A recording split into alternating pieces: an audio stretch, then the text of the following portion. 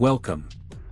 In this video we will talk about code P0746, its symptoms, causes and possible solutions.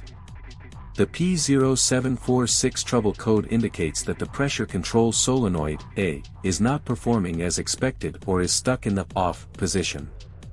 Pressure control solenoids are vital components of the transmission, responsible for regulating hydraulic pressure to facilitate gear shifting and ensure smooth operation. Solenoid A specifically controls pressure in a particular area of the transmission. When it is stuck off or not performing correctly, it can lead to various transmission issues.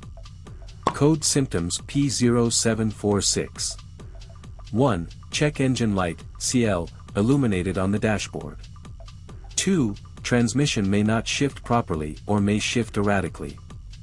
3. Harsh or delayed transmission engagement. 4. Transmission slipping or overheating. 5. Decreased fuel efficiency. 6. Transmission may go into limp mode to prevent further damage.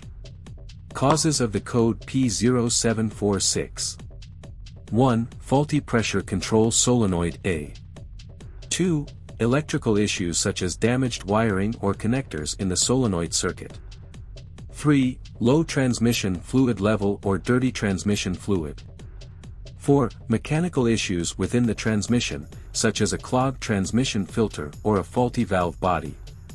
5. Malfunctioning transmission control module, TCM, or engine control module, ECM.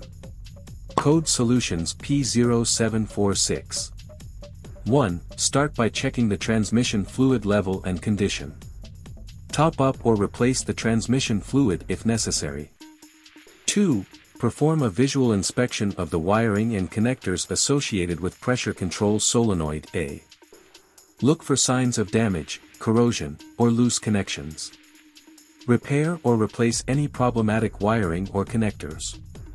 3. Test the pressure control solenoid A using a multimeter to check for proper resistance and operation. Replace the solenoid if it's faulty.